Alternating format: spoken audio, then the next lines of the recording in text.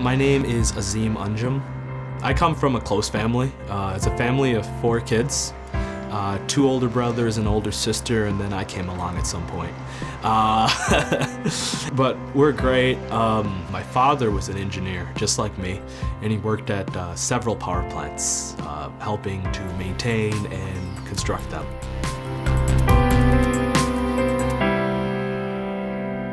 I work at Sargent and Lundy. They are a power plant design firm.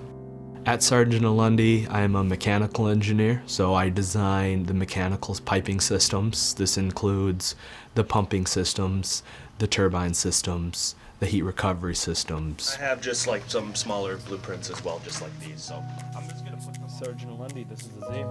Yeah, the um, isolation valve change from a flange to a welded. So typically I would work on developing the 2D diagrams of the power plant, what connects to what, and then the mechanical designers would draw that in 3D and I would help review and develop that.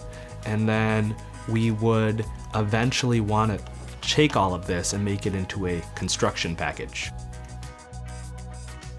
I actually didn't always want to be an engineer. In high school, just like everybody else, I didn't know what I wanted to do. And I took some physics classes and um, I really enjoyed them. And then engineering is the application of physics. So I thought that would be a good route to go down and COD was a good way to test that. Being a two-year school, I was able to basically see if that was a good path for me without you know, taking a major risk. My experience at COD was great and initially I was um, going to pursue a different university, but I decided to give them a chance and they blew my expectations away. They had a full-blown engineering program. Uh, it was rather maturely developed at the time and it's gotten better. So I was able to take all the classes I needed to complete my freshman and sophomore year level of engineering.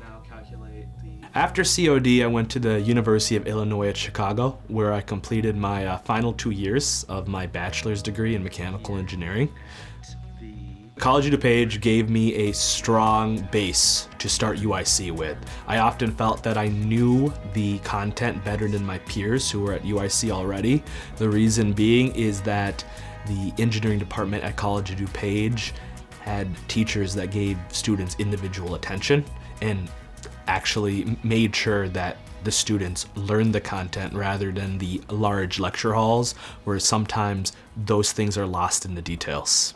Right, and this is the XOR gate. So if the toggle's in one selection. What gets me excited about my work is when I think about the scale of it. So oftentimes I may be writing an equipment specification, so just like a Word document, or I might be drawing like a uh, 2D CAD drawings, and those are lines and triangles and shapes.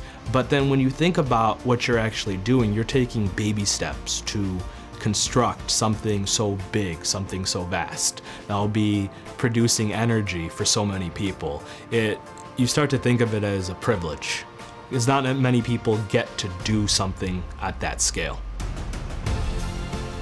If I did not go to College of DuPage, I feel that I would I would still be on the same career track, but I would be a little behind. At College of DuPage, uh, they gave me opportunities to pursue internships. That gave me a step forward. Each internship was a step forward in my career. And, and it's because of these opportunities that I'm at the position I am today.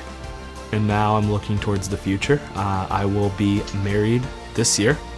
Uh, I also hope to move further in my career and work on some of the new generation power plants and the new fossil project as well.